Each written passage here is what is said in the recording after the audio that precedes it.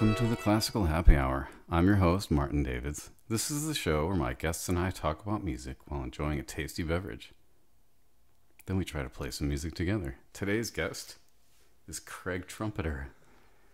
What's up, Craig? Hey, It's good to see you, man. good to see you too. Yeah, I feel like I haven't seen you much this summer. Yeah, it's been since like April, possibly. Yeah. Well, anyway, for my listeners that don't know you, can you uh, tell us like what you're doing for work these days? well, I am working with my colleague Chase Hopkins, running Haymarket Opera Company, which is my main uh, gig, and it's very satisfying. And then I teach at University of Chicago and Northwestern, and I have a few private students here and there. So, I mean, we we need to talk a little bit about Haymarket We- because, like, that didn't exist when you moved here. Yeah. So, how did, like, were you always into opera? Yep. I've been a little opera queen since I was 10 years old, I think. Um, standard rep, you know. Uh, I still am. I love it. It's my go to music. And uh, I just, I love singers and. And I entered, you know, early music also as a youngster, kind of maybe 15. I got excited about early stuff.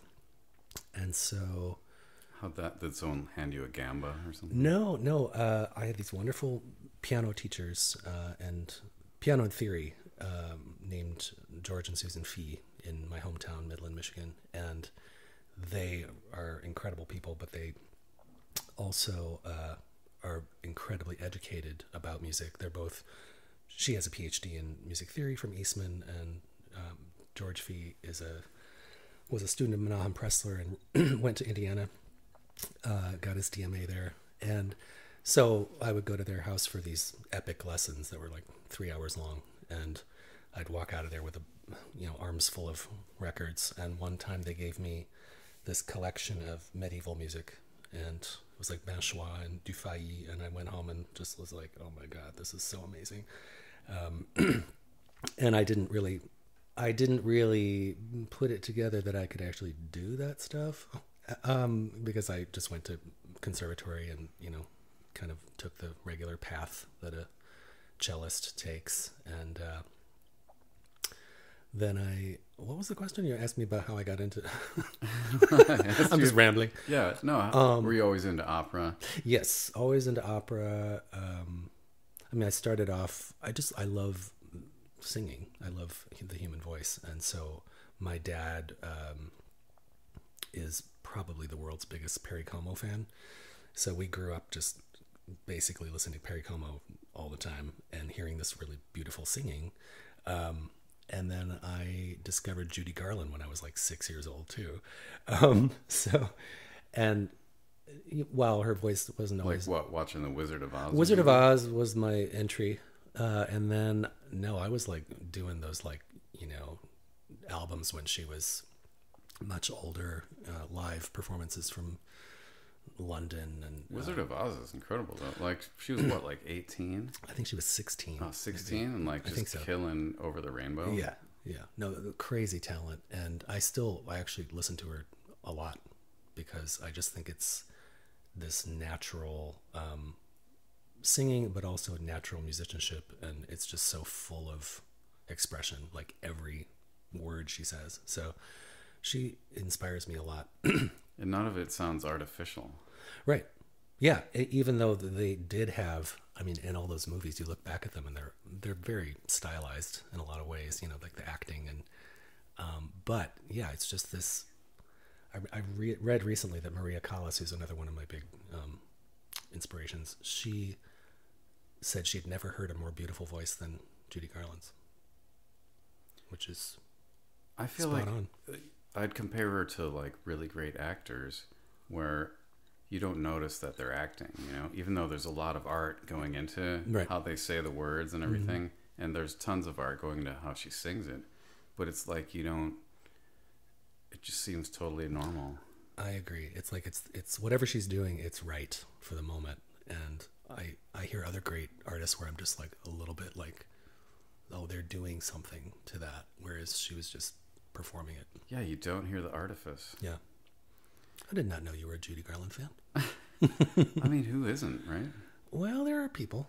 Yeah, but I mean, I'm not rocking out to it all the time, No. but I appreciate yeah, how she sounds. yeah, for sure. It's a great example of beautiful singing. Yeah.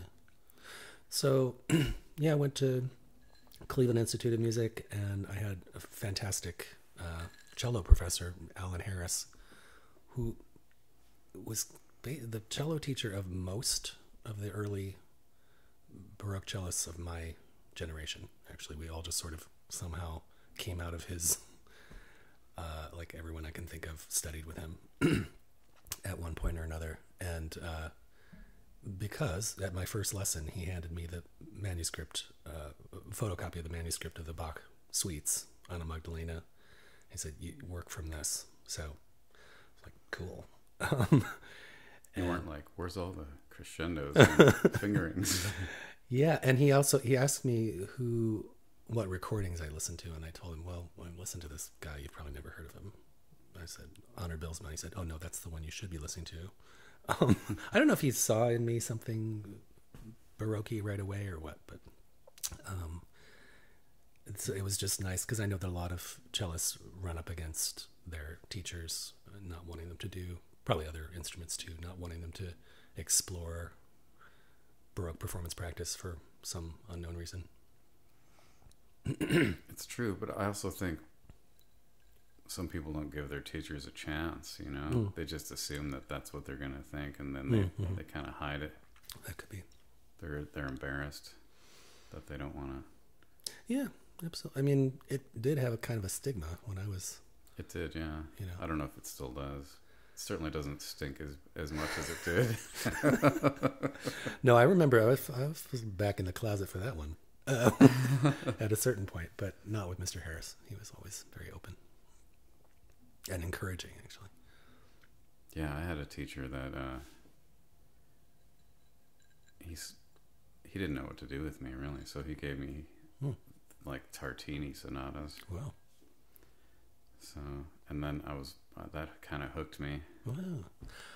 Now that you say that, I, I remember my first cello teacher, uh, Lois Palin, um, giving me sonatas by like Cervetto and Berteau and all these like off the beaten path Baroque uh, composers. And I, yeah, that was also part of my entry, I guess, into it. Cool.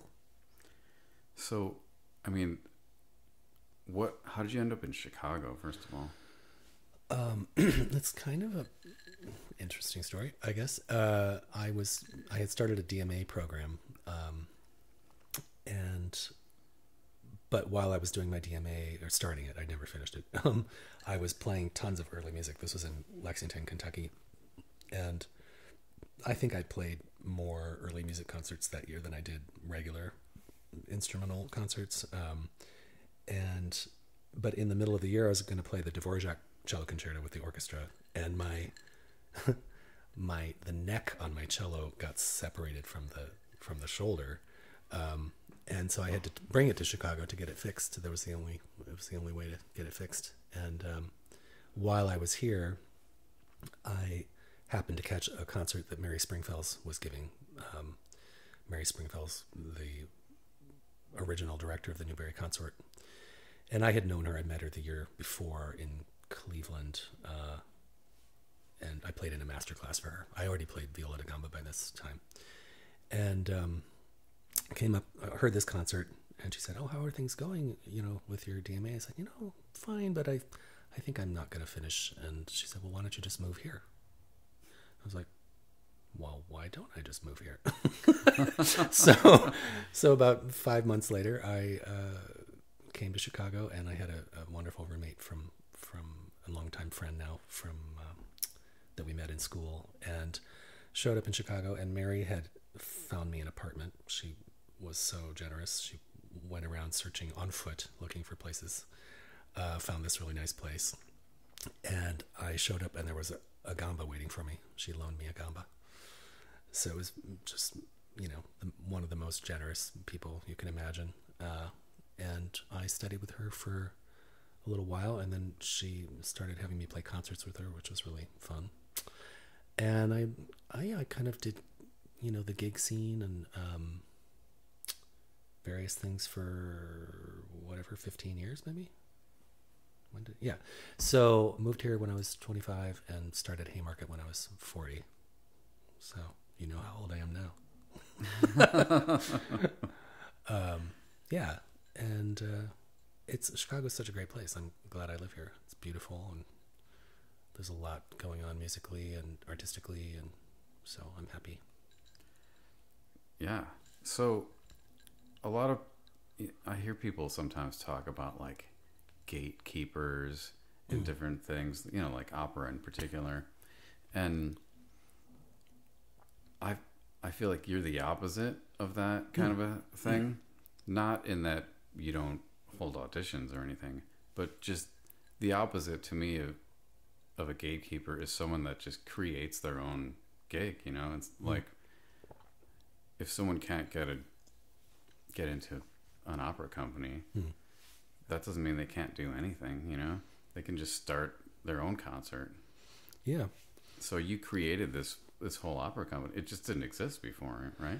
Right. Yeah. So in 2010, I was just thinking about what I really wanted to do, um, and realizing that I I love working with singers so much. I just love being around them, and uh, I know not every instrumentalist feels that way, but I I think I find singers to be incredibly fun, and um, I just love their energy, and I love their repertoire, and I love thinking about singing, and um, so it's like, how can I how can I work with more singers? How can I have more singing in my life? And I thought, you know, what is my first love? It's opera. My second love is what I do, playing the cello and, and gamba and, and uh, that kind of thing. And so, how can I put these together? And I kind of thought, well, why not? Why don't I just start an opera company? Which was naive, you know. I had no idea what was involved. Um, but the moment I, and again, I had to kind of come out again. I had to tell people, you know, like, what do you think? Is this completely stupid? And people were not. People were really supportive um, right from the beginning. And then everybody kind of just somebody. I think everybody was just waiting for someone to do it. Really, you know. So um, I think my naivete did help in that regard. Because But not many people want to do it, you know? That's like an insane thing to put to make happen. Yeah, and and I mean, truthfully, I didn't I didn't really know what was involved, or I might have thought twice about it, um, because it is it is you know it's a lot of work, and uh, I've always had Jerry Luzak has always been there helping me, you know, constantly with everything, um, and tons of people. You all the whole community has come to help. Um, so it's it's still a lot of work, but um, it's satisfying work. I mean, it's you know, we get to do these great performances, and people love it, and I think uh, the audience loves it, and um, and it's just fun to do pieces that you don't do all the time. You know, so like discovering. I forget how many we've done over. I think we've done like twenty five productions, something like that, and I knew the like three of those pieces before we did them. Um, so it's just learning. I've just learned so much. I just feel like every day is this, you know, education because of the things I have to read about and think about, and you know, have to do a lot of writing and um, thinking about business stuff, which is just you know the most. I think one of the most difficult things for a musician to do is mm-hmm. at least most of us we don't like when you're in music school you're not learning about business at all. You're just learning how to play your instrument and and look and think about music, but you don't have they don't really have time, I think, to give you a practical education on how to make money, for instance, or you know, or save money, or you know, um, that kind of invest, that kind of thing. So, um, and certainly you don't learn about building relationships with people like donors and audience members. That's not you just No. you. I think you have to. There's a certain talent involved, and you just have to be okay. Like I'm actually a very shy person, but when I'm I'm called on all the time to not be shy, and it's um, it's really helped me a lot. I think in talking to people and you know building relationships. So Yeah, and if you're the one that built the opera company, you're you believing in it. You know what I mean? It's not like you're having to fake that you're Right. enthusiastic. no, no, no, not at all. And I think that's yeah. I mean, I'm just always speaking from my heart, but it's it's hard to do that sometimes. You know, just if you're if you're shy. So Yeah, well, it takes energy, yeah, and there's a, a limited amount that you want to use up in a day, I guess. Mm, you know? mhm. Otherwise, you get tired. Did you always want to be a musician? You know, I'm not. I when of course when I was a kid, I didn't think about what I wanted to be. Um, really, um, I think I've when I was much younger, I was really into theater. Like I, I built a little theater in my basement, and you know I collected costumes. I would go to the garage sales at the church and buy all these costumes, and I wrote plays with a friend, and but didn't really perform them. We just we just wrote them. Uh, we did like lots of little kind of radio play kind of things together, and um, so I think I had. It's weird because I I was always drawn to theater and um, performance, but I was completely paralyzed uh, at singing in front of people. So I didn't go down the singing route. Um, but when I discovered instruments and then I was good at, you know, I started off as a pianist and then started playing cello right away. Um, and it came pretty quickly to me. So it was, and I loved it. So I just, I practiced a lot. No one ever told me to practice. Like, I think I'm one of those freaky kids who my parents never once said, did you practice today? Um, cause I just, of course I did.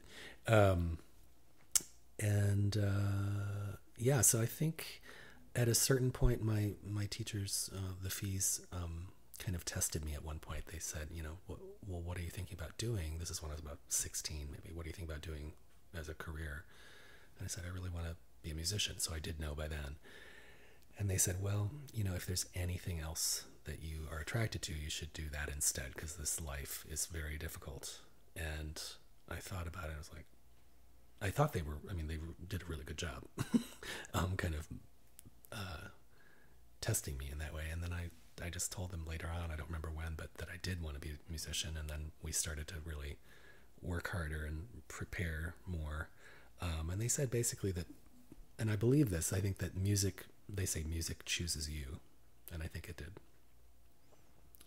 Because I mean, it's certainly this work and this lifestyle is like you have these incredible joys, you know, that you get to experience with your friends and like you're just communing with this incredible music all the time. So you're just dealing with art like 24/7 and not a lot of people have that, you know. And just when you perform too, like when you make a beautiful sound as a group of people, like there, Right. there's like weird chemicals that Totally. that happen, Yeah. and it's just part of the job, you know. But Right. that's a great part of the Yeah. job. Yeah. And so we do we do have these incredible highs and it's so satisfying, but then of course there's so much work involved and so it, it's not for the faint of heart. I think you just it has to be something that you could not not do. And that's what it is for me. Yeah, I feel the same, like a calling for me. Mm-hmm. Yeah. Yeah. So, I know that's what you feel called to do, but Hmm. was there ever anything else that you thought, like, if if you weren't a musician, what would you want to do? I mean, even now, Um seeing some job that you were like, that looks kind of fun. You know, I'm I admire anyone who likes their job, and I honestly like. I think I think I could like drive a bus or something. You know, like like work for the CTA or something like that. But I have, I mean, I have an entire other kind of thing that I do, which is the Feldenkrais method, um, and so I think if like I do think sometimes, okay, well, what if I lost my hearing? You know, what would I do? Um, and I do have this incredible. I'm fascinated by the Feldenkrais method, the whole way of thinking and um, what it can do for people, and like just studying the brain and you know the human body and and functionality and all that stuff is really. I mean, it saved my career when I was about thirty, so uh, it's been a huge part of it's a huge part of every day for me. Um, so that is something that I think I would just naturally do. Um, if I, for some reason, couldn't do music anymore, I don't know what, why that would, well, you know, I suppose if I lost my hearing, I could still, Beethoven was deaf. You know, you can find ways to, you can find things to do. I'm not to, probably not to compose anything. Mm, but so I think though that I could do lots of things. Like um, I'm interested in a lot of things, so I don't know that I have. Yeah, um, yeah, like seriously driving a bus or doing something like that where you're kind of helping people. That's something that would interest me. Yeah, Having having a there's got to be a, some interaction with people Mhm. to make it interesting. I don't Hmm. want to sit in a cubicle. No, I think that would be really hard, and I think that's hard for anyone. Um, yeah, community work. I don't know. I could maybe. My dad was a social worker and a marriage counselor, so I have some of that in my thinking. um, so I would be interested in you know doing all sorts of things. Um, Okay. Um. So, what's coming up? Uh, anything cool? What is coming up? Uh, I'm going to go play for the Handel Aria competition in Madison next month, which is a really fun thing. Um, it's a, uh, founded by these two wonderful people who just love Handel arias. So they were like, "Oh, let's have a let's." It was kind of like, "Hey, Margaret, let's just start a competition so we can hear lots of Handel arias." And it's ten years old now, and, and it's just it's really fun. Like the quality of the singing is really great. So I'll do that. Um, and then in September, we start to prepare, finish preparation for Francesca Caccini's opera, La Liberazione di Ruggero dall'Isola d'Alcina. Almost got it right. Um, so that's at the end of September at Jarvis Opera Hall at DePaul. So And, it's uh, one of these Orlando Furioso Yeah. Yeah. librettos. Alcina That's totally wacky. hmm Yes, and it's the the earliest com- uh, opera by a woman. Um, Francesca Caccini composed it in 1625. So it's and it's really one of the earliest pieces we've done, actually, at Haymarket. Um, Yeah, 1625 is early. yeah, I've done it before. I did it out in at Utah State with the students out there, so I know the piece already, and it's it's really fun. So I'm looking forward to that. And uh, my good friend Jory Vinikour and I are playing all of the Bach Gamba sonatas at a house concert at the end of August, and uh, then I start.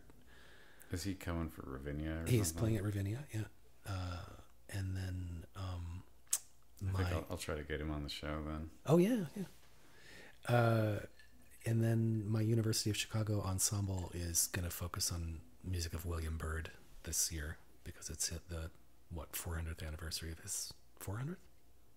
Yeah, of his death. Yeah, I've been hearing a lot about Byrd. And Yeah. bird is the word, and all kinds of. Oh yeah, so yeah, I'm doing a bunch of Byrd around town. Uh, but uh, yeah, I'm excited about that. He he loved the viol, so Sweet. yeah.